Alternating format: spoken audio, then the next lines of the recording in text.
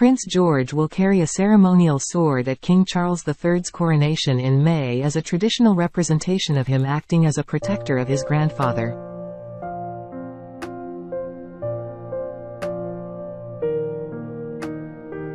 The nine-year-old is second in line to the throne and will hold a small ceremonial sword in his role as the Page of Honor.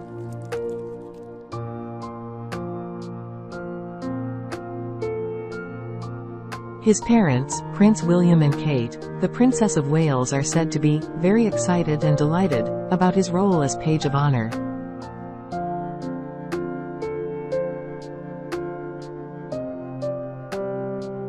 It's something that his parents have thought long and hard about and are very much looking forward to, and I'm sure George is, too, a spokesperson told People earlier this month.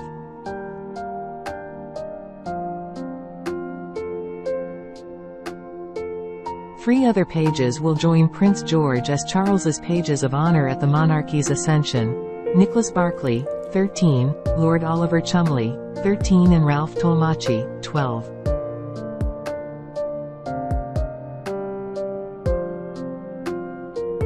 They will all wear red coats, white breeches and stockings for the ceremony. The Queen Consort will also have four pages of honor of her own, with three being her grandsons, 13-year-old twins, Gus and Louis, and their cousin Frederick, the 13-year-old son of Tom Parker Bowles.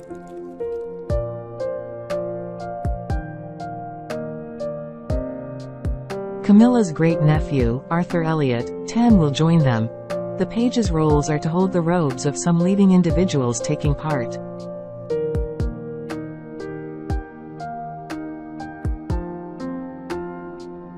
King Charles's coronation on 6 May will be an hour shorter than Queen Elizabeth II's in 1953 at 4 hours and 2,000 attendees will witness the Westminster Abbey service.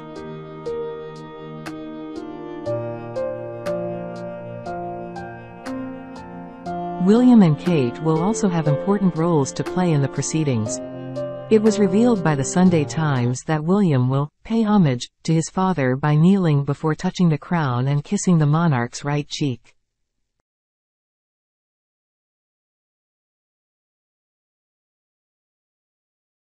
Prince Harry will not perform this tradition although he has confirmed his attendance at the coronation.